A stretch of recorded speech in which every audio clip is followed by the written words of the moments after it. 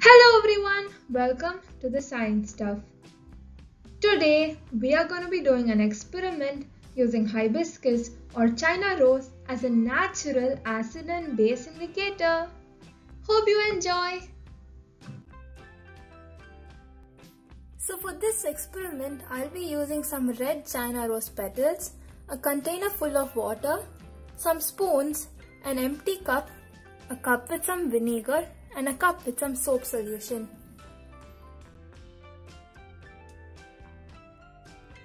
So first, I'm going to start with putting all of these petals into this container full of water.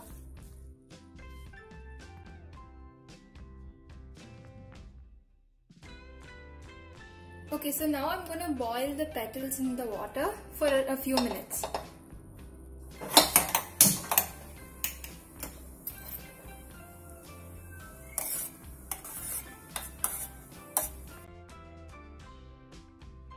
After around 3 minutes, you can see that the petals have completely lost their color. Now I'm going to let it cool for a while and I'm going to remove these petals from the water.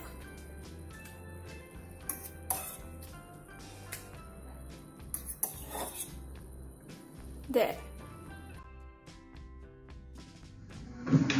Now that the solution has completely cooled down, I am going to be adding it to a transparent cup.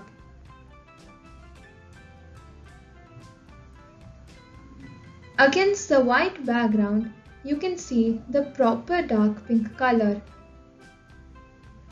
Now, I am going to be taking a spoon and adding some of the China rose indicator to the vinegar.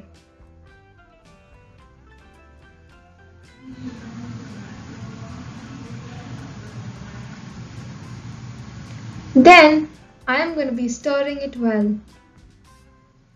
I am also going to add some of the China Rose indicator to the soap water.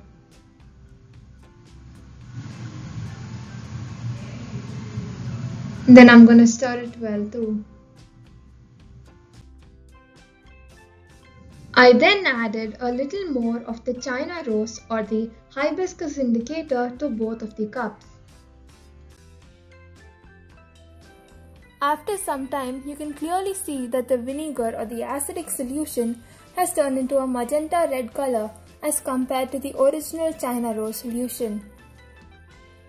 And we can see that the soap solution, which was a basic solution, has turned into a green color.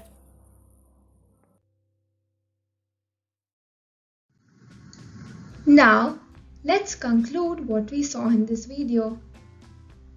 A natural pigment known as anthocyanin, which gives the red color to many flowers, is present in the red hibiscus petals.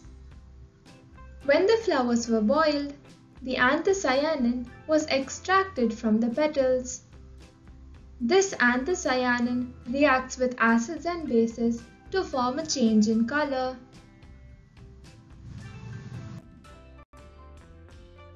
When the solution containing the anthocyanin was added to the vinegar, which is acidic in nature, it reacted with the vinegar to form a magenta reddish solution as seen here.